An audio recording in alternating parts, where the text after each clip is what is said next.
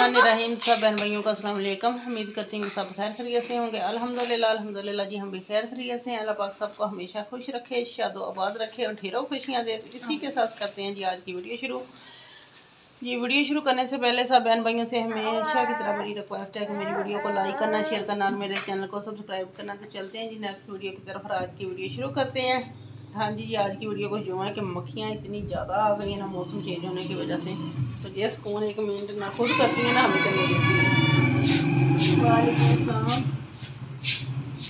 तो अभी जी शाम के अफ्तारी के लिए शाम का खाना तैयार होने लगा तैयारी शादी कर रही हूँ भाभी ਮੈਂ मैं ਕਿ भी ਢਾਈ ਤਿੰਨ ਵਜੇ ਨੇ ਤੇ ਕਰ ਲਈਏ ਹਾਂਜੀ। ਅਹ ਬਾਜੀ ਇਸ ਟਾਈਮ ਟੂਰੇ ਟੂਰੇ ਕਿੱਥੇ ਫਿਰ ਟਾਈਮ ਪਿਛਲਾ ਟਾਈਮ ਐਵੇਂ ਹੀ ਗੁਜ਼ਰ ਜਾਂਦਾ ਹੈ हाँ जी ਬਾਜੀ ਬੜੇ ਨੇ ਜਿਹੜੇ ਡਿਕਰੇ ਡੁਕਰੇ ਇਹ ਬਰੀਕ ਕਰਨੇ ਪੈਣੇ ਆ ਅੱਜ ਕੱਲ ਦੇ ਜਿਹੜੇ ਕੱਦੂ ਹੈ ਨਾ ਇਹ ਜਿਆਦਾ ਨਰਮ ਨਹੀਂ ਹੁੰਦੇ ਅੱਛਾ ਹਾਂ ਔਰ ਇਹਦੇ ਨਾਲ ਅਸੀਂ ਬਣਾ ਉਹ ਵੀ ਨਹੀਂ ਨਰਮ ਹੋਏ ਫਿਰ ਰੋਵੀਨ ਤੇ ਹੁਣ ਜੀ ਅਸੀਂ ਅੱਜ ਕੀ ਬਣਾ ਰਹੇ ਹਾਂ ਕੱਦੂ ਦੇਸੀ ਮੁਰਗਾ ਕੱਦੂ जी जी कद्दू और साथ में देसी मुर्गा गोश्त बना के फ्रिज में रख लिया है प्याज लहसुन टमाटर मिर्चें अभी काटने वाली हैं क्योंकि मक्खियाँ इतनी ज़्यादा आ गई हैं ना जे बहुत हाँ जी बस जी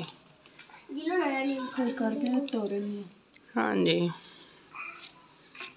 बस इन्हें बच भी रिक पड़े जी हाँ जी ना यार ना ना ना यार मैं क्या क्या ना ਬਿਸਮਿਲ੍ਲਾਹਿਰਰahman ਰਹੀਮ ਜੀ ਮੱਖੀਆਂ ਨੇ ਖਾ ਲਈਏ ਜਾਨ ਤੇ ਲਸਣ, ਪਿਆਜ਼, ਟਮਾਟਰ, ਮਿਰਚਾਂ, ਹਰ ਚੀਜ਼, ਕੱਦੂ ਕੱਟ ਕੇ ਸਾਰਾ ਕੁਝ ਰੱਖ ਲਿਆ ਤੇ ਗੋਸ਼ਤ ਵੀ ਫ੍ਰਿਜ ਚੋਂ ਕੱਢ ਕੇ ਲਿਆਈ ਤੇ ਹੁਣ ਬਾਬੀ ਮੈਂ ਵੀ ਅਨਾਇਆ ਫਾਤਮਾ ਰੋਣ ਸ਼ੁਰੂ ਹੋ ਗਈ ਹੈ। ਪਹਿਲੇ ਉਹ ਬਣਾਉਣ ਲੱਗੀ ਸੀ ਤੇ ਹੁਣ ਅਸੀਂ ਵਾਪਸ ਜਾਣਾ ਹੈ।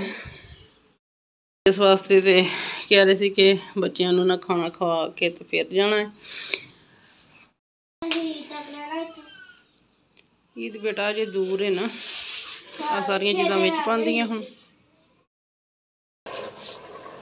जी जी पानी डाल के ना सारी चीज़ें डाल के रखी हुई पहले नरम हो जाए अच्छी तरह क्योंकि देसी मुर्गा ये भी सख्त सख्त है कुछ और कद्दू भी साथ में नरम नहीं हो रहा हर चीज़ डाल के ना मैंने कहा अच्छी तरह पहले नरम हो जाए फिर इसको ना घी डाल के अच्छी तरह मसाले डाल के इनकी बुनाई कर लूँगी अभी तक तो नरम हो नहीं रहा भाभी मैं भी इसी तरह आटा गूंद रही है ਆ ਲੈ ਪਤਾ ਨਹੀਂ ਪਿਆਸ ਨੇ ਬਾਈ ਸ਼ਾਮ ਦਾ ਜਦੋਂ ਟਾਈਮ ਹੋ ਜਾਂਦਾ ਨਾ ਫਿਰ ਨਹੀਂ ਚੁੱਕ ਕਰ ਜੋ ਮਰਜ਼ੀ ਕਰ ਲਓ। ਇੱਕ ਦੁਪਹਿਰ ਦਾ ਟਾਈਮ ਤੇ ਇੱਕ ਸ਼ਾਮ ਦਾ ਟਾਈਮ ਜੀ। ਹੁਣ ਜਿਵੇਂ ਜਿਵੇਂ ਸ਼ਾਮ ਸ਼ਾਮ ਦਾ ਪੈ ਟਾਈਮ ਜਾਣੀ ਨਹੀਂ ਹੈ ਬੱਚਾ ਨਾ, ਚੁੱਪ ਕਰਦਾ। ਤੇ ਉਵੇਂ ਮੈਂ ਫਿਰ ਇਹਨੇ ਕਿਸੇ ਕੋਲ ਨਹੀਂ ਆਉਣਾ ਬਸ ਚੁੱਪ ਹੀ ਨਹੀਂ ਕਰਨਾ ਇਹਨੇ।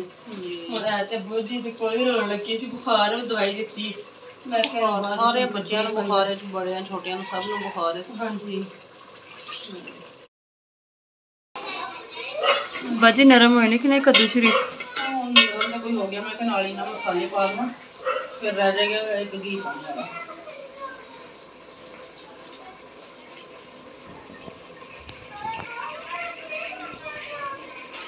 ਹਲਦੀ ਦੋ ਤਰ੍ਹਾਂ ਦੀ ਵਿੱਚ ਪਾਈ। ਹੈ।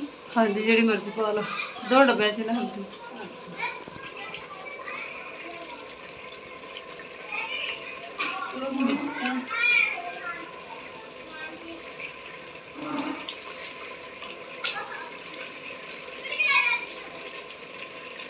ਵਿੱਚ ਡੱਬੇ ਦੇ ਫਿਰ ਪਾਣੇ ਹੋਣ ਹਾਂਜੀ ਬਸ ਬਾਜੀ ਆਪਣੇ ਹਿਸਾਬ ਦੀ ਤਾਂ ਹੀ ਤੇ ਵਾਸਨੇ ਕਿਵੇਂ ਬਾਜੀ ਆਪਣੇ ਹਿਸਾਬ ਦੀਆਂ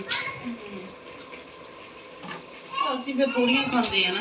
ਹਾਂਜੀ। ਭਾਈ ਤੁਹਾਡੇ ਵੀ ਹੁਣ ਬਾਹਰ ਰਹਿ ਰਹਿ ਕੰਮ ਕਰ ਕਰ ਫਿਰ ਇਹ ਵੀ ਥੋੜੀ ਖਾਂਦੇ ਆ। ਇਹਨਾਂ ਦਾ ਮੇਜੇ ਦਾ ਮਸਲਾ ਪਾਉਂਦੇ ਹਾਂਜੀ।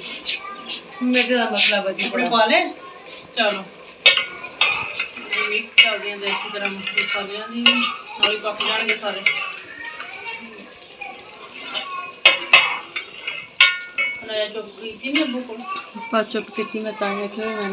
ਫਟਾਫਟ ਜਾਣਾ। ਰੋਟੀ ਰੋਟੀ ਪਕਾ ਲਈਏ ਤੇ ਫਿਰ। ਫਿਰ ਵਧੀਆ ਆ ਜਾਣੀ ਫਿਰ ਅਨਾਇਆ ਨੂੰ ਪਕਲਾ ਹਾਂਜੀ। ਰਮਨ ਰਹੀਮ ਜੀ ਪਾਣੀ ਖੁਸ਼ਕ ਹੋ ਗਿਆ ਗੋਸ਼ਤ ਤੇ ਆ, ਬੈਂਗਣ ਜੜ ਬੈਂਗਣ ਸੌਰੀ ਕੱਦੂ ਨਰਮ ਹੋ ਗਏ ਤੇ ਹੁਣ ਅਸੀਂ ਕੀ ਪਾ ਕੇ ਅੱਛੀ ਤਰ੍ਹਾਂ ਬਣਾਈ ਕਰ ਲੈਂਦੇ ਆ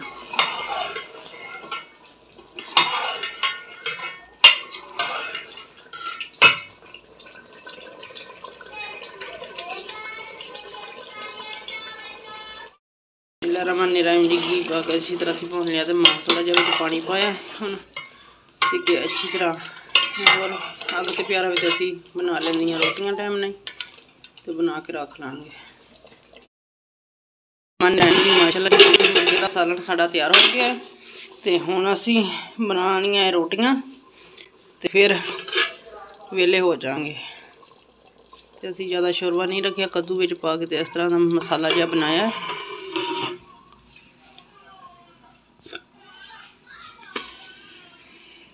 ਅੱਗ ਥੱਲੇ ਉਪਜਾ ਦਿੱਤੀ ਹੁਣ ਥੋੜੀ ਦੇਰ ਅੱਗ ਤੇ ਇਸ ਤਰ੍ਹਾਂ ਹੀ ਪਿਆ। ਬਿਸਮਿਲ੍ਲਾਹਿਰ ਰਹਿਮਾਨਿਰ ਰਹੀਮ ਜੀ ਭਾਬੀ ਆਸੀਆ ਲੱਗੀ ਸੀ ਕੰਮ ਤੇ ਅਸੀਂ ਚੱਲੇ ਸੀਗੇ ਤੇ ਮੈਂ ਕਿਹਾ ਜਨ ਜਲਦੀ ਇਹਨਾਂ ਨੂੰ ਮਿਲ ਲਈਏ। ਸਾਡੇ ਨਾ ਮੈਂ ਬਰਥਡੇ ਨਾ ਲੱਗ ਲੱਗੇ ਹੋਏ ਤੇ ਇਹਨਾਂ ਟਿੱਕੇ ਕਣਕ ਵੜਦੇ ਆ ਨਾ ਤੇ ਉਹਨਾਂ ਨੂੰ ਸਵੇਰ ਵੀ ਚਾਹ ਦੇਣੀ ਪੈਂਦੀ ਹੈ ਤੇ ਸ਼ਾਮ ਨੂੰ ਵੀ। ਕੰਮ ਨਹੀਂ ਲੇਕਿਨ ਮੁੱਕੀ ਹੋਈ ਕੋਈ ਸਾਡੀ ਅਸੀਂ ਵੈਸੇ ਨਾ ਦੇ ਦਿੰਦੇ ਮੈਂ ਕਿ ਨਿੱਕੀ ਨਿੱਕੀ ਲੱਗੀ ਬੱਚੀ ਚਲੋ ਨਾਲ ਕੋਈ ਗੱਲ ਨਹੀਂ ਚਾਹ ਦੇਣ ਲੱਗੀ। ਬਾਜੀ ਹੁਣ ਜਦੋਂ ਕੋਈ ਕੰਮ ਕਰੇ ਤੇ ਫਿਰ ਤੁਹਾਨੂੰ ਪਤਾ ਚਾਹ ਪੀਣ ਤੇ ਦਿਲ ਕਰਦਾ ਨਾ ਫਿਰ ਜਦੋਂ ਥੋੜੀ ਥਕਾਵਟ ਲੈ ਜਾਂਦੀ ਆ ਥਕਾਵਟ ਉੱਤਰ ਜਾਂਦੀ ਆ ਫਿਰ ਮੈਂ ਕਿ ਚਲੋ ਬਣਾ ਦਿੰਦੇ ਆ ਚਲੋ ਸਾਡੇ ਕਿਹੜਾ ਉਹਨਾਂ ਨੇ ਸਦਾ ਲੱਗੇ ਰਹਿਣਾ ਚਾਰ ਦਿਨ ਚੱਲ ਮਿਹਨਤ ਕਿਹੜਾ ਕਰ- ਕਰਨੀ ਆਸਾਨ ਆ ਬੜੀ ਮੁਸ਼ਕਲ ਆ।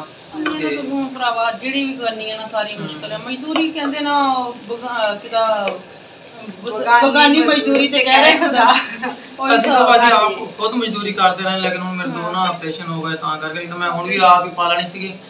ਤੇ ਹਾਲਾਤ ਸਾਰਿਆਂ ਦੇ ਸਾਹਮਣੇ ਦਿਖਦੇ ਹੀ ਹੁੰਦੇ ਭੈਣਾਂ ਭਰਾਵਾਂ ਦੇ ਕਿਹੜਾ ਛਪਾਏ ਜਾਂਦੇ ਕਿਸੇ ਦੇ ਤੇ ਹੋਰ ਛੋਟੀ ਸੀ ਨਾ ਹੀਰਾ ਤੇ ਮੈਂ ਕਿਹਾ ਚਲੋ ਮੈਂ ਭੜੀਆਂ ਦਾ ਪਾ ਲਿਆ ਕਰੂੰਗਾ ਤਾਂ ਆਸਿਆ ਬਣਾਉਣ ਲੱਗੀ ਫੇ ਉਹਨੇ ਮਰਨਾ ਰੁੱਲ ਜਾਣਾ ਉਹਨੇ ਛੋਟੀ। ਫਿਰ ਰੋਲ ਜਾਣਾ ਪਿੱਛੇ ਤਾਂ ਕਰਕੇ ਅਸੀਂ ਫਿਰ ਨਾ ਮੈਂ ਕਹਿੰਦਾ ਅੱਜ ਜਿੰਨੀ ਕਿ ਸਾਡੇ ਮਾਵਾਂ ਚ ਜਾਣੇ ਉਹਨੇ ਗਾ ਬੱਚਿਆਂ ਚ ਬੱਚਿਆਂ ਵੀ ਬੱਚਿਆਂ ਗਾਂ ਚੋਂ ਨਹੀਂ ਹੁੰਦੀ ਹੀ ਨਹੀਂ ਹਾਂ, ਬੱਚੇ ਬਹੁਤ ਪਹਿਲੀ ਗੱਲ ਬਾਜੀ ਬਿਮਾਰ। ਬੁਖਾਰ ਆ ਪਤਾ ਨਹੀਂ ਕੀ ਆ। ਉਹਨਾਂ- ਰੋਣਾ ਇਦਾਂ ਜਾਣਾ ਨਹੀਂ ਜਿਹੜੀਆਂ ਨਿਕਲ ਸਰਦੀਆਂ ਕਰਦੀ ਨਾ ਪਿਛਲੀਆਂ ਸੂਏ ਕੀ ਉਹਨਾਂ ਨੂੰ ਕਹਿੰਦੇ ਅੱਜ ਸਾਹਮਣੇ ਆ ਰਹੀ ਤਾਂ ਤਬੀਅਤ ਠੀਕ ਨਹੀਂ ਹੁੰਦੀ ਨਾ ਸਿਰ ਮਗਦਾ ਮਗਦਾ ਬੁਖਾਰ ਦੇ ਨਾਲੇ ਸਾਰੇ ਛੋਟੇ ਬੜਿਆਂ ਸਾਰੇ ਦੇ ਬੁਖਾਰ ਹਟਦਾ ਹੀ ਨਹੀਂ ਭਾਈ ਮੌਸਮ ਚੇਂਜ ਹੁੰਦਾ ਕਿ ਮੌਸਮ ਚੇਂਜ ਹੋਣ ਡਿਆ। ਆ ਮੱਖੀ ਤੋਂ ਅੱਧ ਨਹੀਂ ਆਣਾ ਤਾਂ ਮਾਰ ਤੁਸੀਂ ਚਲੇ ਜਾਣਾ? ਹੁਣ ਅਸੀਂ ਚੱਲੇ ਆ ਮੈਂ ਕਿਹਾ ਜਾਂਦੇ ਜਾਂਦੇ ਜੇ ਮਿਲ ਮੈਂ ਨਾ ਦੇਖ ਰਾਤ ਰਹਿ ਲਓ। ਹੁਣ ਫੇਰ ਸਹੀ। ਹੁਣ ਜਾ ਕੇ ਹੁਣ ਇਹਨਾਂ ਦੇ ਪਾਪਾ ਇਹ ਭਾਈ ਨੂੰ ਅਜੇ ਨਾ ਛੁੱਟੀਆਂ ਥੋੜੀਆਂ ਹੈਗੀਆਂ ਇਹ ਤੁਸੀਂ ਘਾਬਰੋ ਨਾ ਜੀ ਨਿਆਣੇ ਦੋਰਾ ਲੈ ਕੇ ਈਦ ਤੇ ਆਇਓ। ਇਹ ਸਾਡਾ ਅੱਜ ਪਤਾ ਨੀ ਕੀ ਬਣਨਾ ਮੈਂ ਕਿਹਾ ਸੀ ਵੀ ਹੁਣ ਇਸ ਦਾ ਚੱਕਰ ਪਤਾ ਨਹੀਂ ਹੁਣ ਕੀ ਬਣਨਾ। ਕੀ ਪਤਾ ਲਗਾਇਓ ਚੱਕਰ ਤੇ ਨੀਚੇ ਹੁਣ ਪਤਾ ਨਹੀਂ ਹੁਣ ਤੇ ਕੀ ਗੱਲ ਮੈਂ ਪਤਾ ਨੀ ਕਿਸ ਤਰ੍ਹਾਂ ਜਾ ਕੇ ਬਣਾ ਇਹ ਸ਼ੇਪ ਕਰਾਈ ਤਾਂ ਫਿਰ ਮੇਰਾ ਭਰਾ ਹੈ ਹੀ। ਸੋਹਣਾ ਇਹਨੇ ਬੰਦੀ ਹੈ ਨਾ ਉਸ ਦੇ ਚਾਚੂ ਆਏ ਤੇ ਅਸੀਂ ਇੱਥੇ ਹੈ ਨਹੀਂ ਸੀਗੇ ਫਤਿਹਪੁਰ ਗਏ ਸੀ।